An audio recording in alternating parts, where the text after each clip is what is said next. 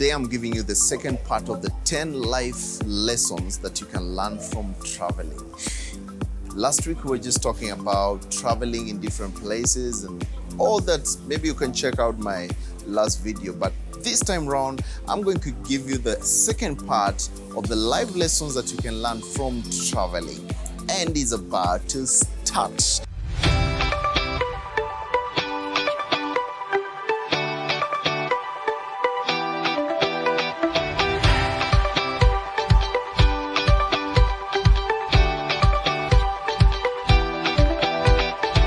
So, um, the more you learn the world, the much you realize how little you know. The much you learn the world, the more you realize how little you know. Many people don't know that they know almost nothing. It's only that you've been sitting down there in your comfort zone, thinking that you know everything, because you've not just taken a step out of your comfort zone to go and learn how other people do their things, how people learn, how people enjoy life, what people do. And that way you can be able to realize things that you've never realized. So going out of your comfort zone will help you so much to understand you better than any other person.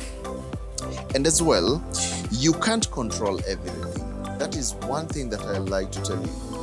You know, many people have been asking me, Keith, how can I control this? How can I control that? How can I control that? Things are not going the, the right way that I want. Things are not working out my way, and I don't know exactly what I'm going to do. I learned one thing when you're traveling, you get to understand that you can never control everything. You can control one part of your life, but you can never control every side. So, what does this have to do with your general life? When you learn that you cannot control everything, you become comfortable and you learn to let loose of some things. If you can't win in this side, you can always win in another area because anytime you go to a new place, you discover there are people who have won in so many angles, so many areas, and others who have lost, and they give you their story. You get you you give them your story and you get to interact with people and understand what i love is not what another person loves and what another person loves is not exactly what i love. So with that kind of interaction you get to learn how you can let loose of the things that you don't really interest you. And so forth that is going to improve the way you react with people, improve the way you do your business, improve the way you do your daily things. The other thing that you need to learn is that we are fundamentally the same.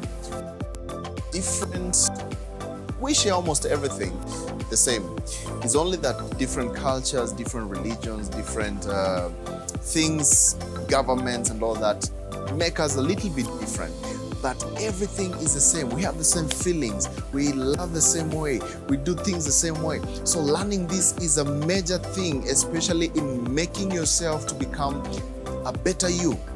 So go out there and learn such kind of things, and your life will never be the same because that is exactly who we are. We are all human beings in the same world, just sharing different cultures which make us a little bit different, but everything else is just exactly the same.